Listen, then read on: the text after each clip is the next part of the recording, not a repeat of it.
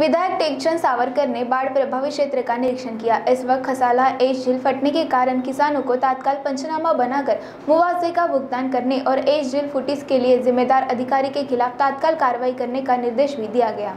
कामटी के कोराडी ताप विद्युत गृह का राग ताला फटने की सूचना मिलने के बाद खसाला मसाला कवथा कोराडी, खेरी के गाँव में बड़ी मात्रा में राख बह गई। जिससे किसानों को भारी नुकसान हुआ। कामठी, मोडा विधानसभा विधायक टेकचंद सावरकर तत्काल संबंधित विभागों के अधिकारियों के साथ निरीक्षण दौरा किया। अक्षय पोयम, मुख्य अभियंता कोराडी ताप विद्युत गृह, श्री हारने महाद्वीपीय विकास अधिकारी अंशुजा गैराटे, कृषि विभाग, प्रदूषण विभाग के अधिकारी उपस्थित थे। इस अवसर पर बोलते हुए विधायक सावरकर ने प्रभावित क्षेत्रों के किसानों को हुए नुकसान का तत्काल पंचनामा देने का आदेश दिया और तत्काल मुआवजा देने का आदेश दिया और आश्वासन दिया कि शिंदे फडणवीस सरकार में किसी भी किसान के साथ अन्याय नहीं होगा। साथ ही आदेश दिया कि बाढ़ से क्षतिग्रस्त सड़कों की मरम्मत महावितरण द्वारा तत्काल की जाए। इस मौके पर विधायक सावरकर ने गहरी नाराज़गी जताते हुए रिट झील को फोड़ने वाले अधिकारी के खिलाफ जाँच कर कार्रवाई करने के आदेश दिए।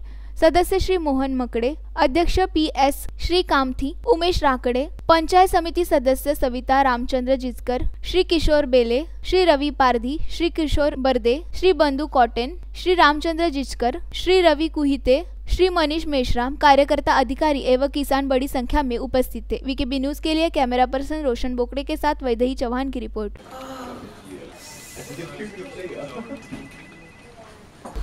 मीटिंग बुलाई क्या यार? आदमी की तकलीफ़ को तो समझो। बाहर बाहर उठो बैठो उठो बैठो। जनाब तकलीफ़ उठने बैठने की नहीं तकलीफ़ बवासीर की है। बवासीर फिशर भगंदर पाइलोनियल साइंस का आयुर्वेद तथा आधुनिक लेजर से उपचार। Abhyudaya piles laser hospital Lohar Samaj Bhavan के पीछे महापुष्प सोसाइटी शताब्दी नगर चौक से मनीष नगर रोड नागपुर। कॉल और विज़िट करें www.pilesfistulacure.com